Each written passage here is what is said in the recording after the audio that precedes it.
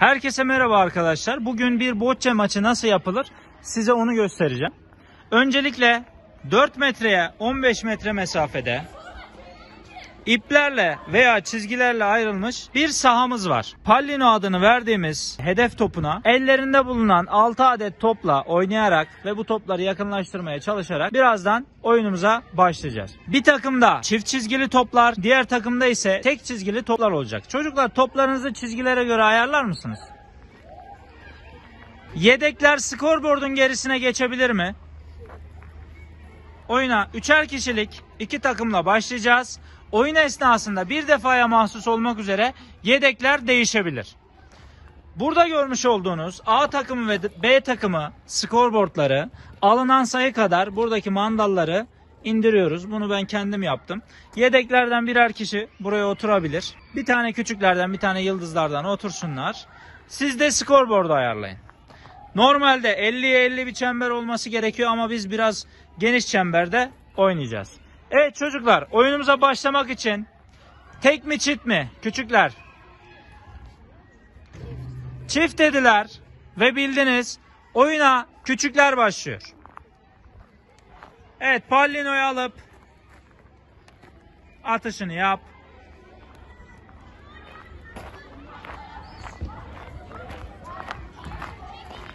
Evet Pallino'muz burada. Şimdi Pallino'yu iyi görebilmek için bu şekilde bir çizgi çizdim.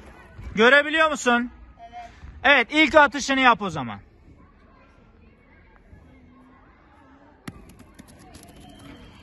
Tek çizgi atışını yaptı. Şimdi çift çizgi atışını yapıyor.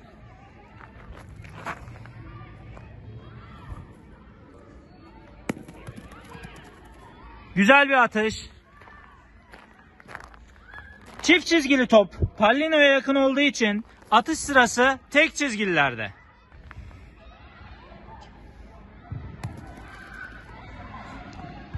Tek çizgililer atmaya devam ediyor. Tek çizgililer atmaya devam ediyor. Tek çizgiler atmaya devam ediyor. Evet önünü kapatmanız lazım artık kızlar. Tek çizgilerin son topu. Her sporcuya iki top düşmekte.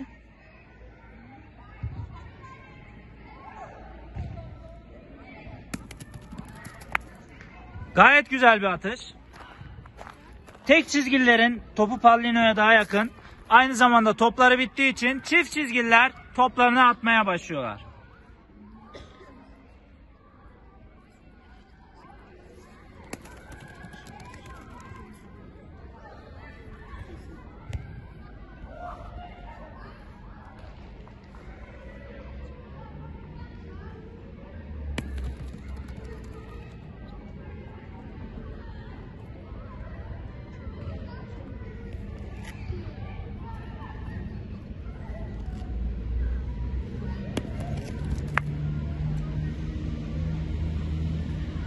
Yerinde olsam oradaki tek çizgili topu vururum. Eğer tek çizgili topu vurursan çift çizgili toplar Pallino'ya yakın olduğu için tek seferde 5 sayı bile alabilirsin.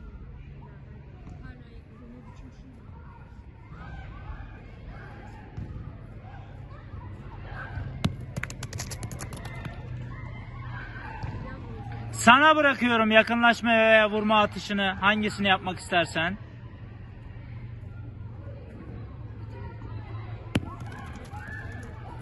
Evet.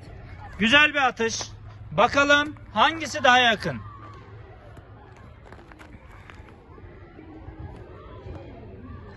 Tek çizgi 8 parmak. Evet çift çizgi 9 ya da 10 parmak gelecek.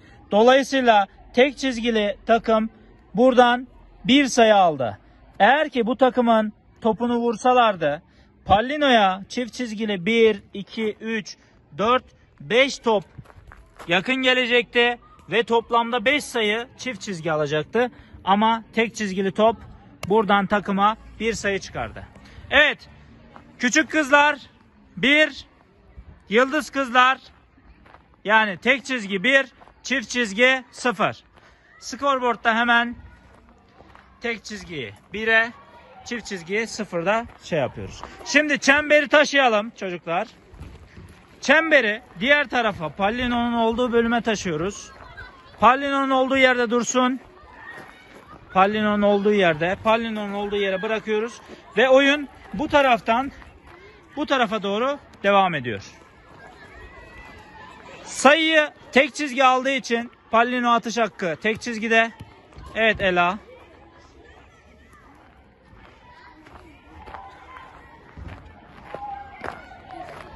Gel Pallino'yu çiz daha iyi görebilmek için.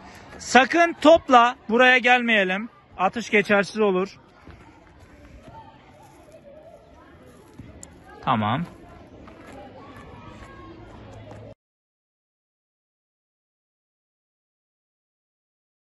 Bilirdi.